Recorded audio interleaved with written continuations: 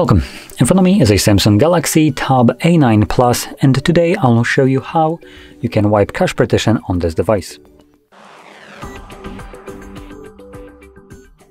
Now for this we will need a cable that you can plug into your computer, so I have one ready for this.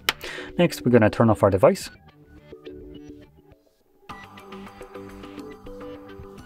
Now when the device turns off, you want to hold the power button and volume up at the same time. And when you start holding them, you will then plug in your device right away.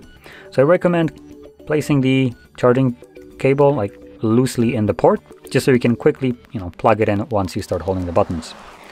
So holding the buttons now, plug in. When you see Samsung, let go of the power button, and then you should see Galaxy Edition like show up under it. So if you do, that's great. Now, if for some reason you held it for a little bit too long, chances are your tablet turns off. So instead of seeing the Samsung Galaxy, it just goes black. Once you see this, just start holding the power button once again, maybe unplug and plug it back in, and uh, try to let go of the power button a little bit sooner when you see the Samsung logo. Anyway, so in here, we will now need to use volume buttons to navigate up and down, as you can see. And with that in mind, want to select wipe cache partition, confirm it with the power button, select yes. And as you can see at the bottom, you should see cache wipe complete.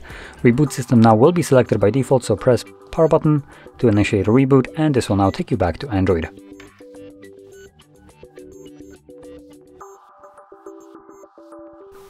And as you can see, we are now back in Android. So if you found this very helpful, don't forget to hit like, subscribe, and thanks for watching.